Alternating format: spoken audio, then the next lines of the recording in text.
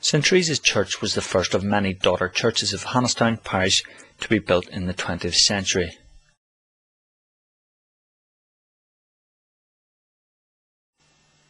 These two copper plaques in the entrance are offered to the memory of Miss Hannah Hamill, Teresa Hamill, and to the Hamill family in general of Trench House.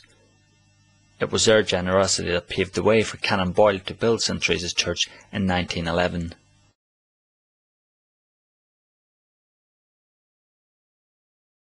As well as the cost of the church, the school and presbytery was borne by the Hamills, who were in fact heiresses to the extensive landed property of their brother Arthur.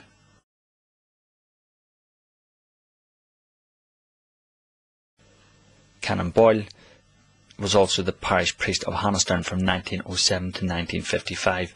Before he died, the rural parish to which he had been appointed had become mostly urban.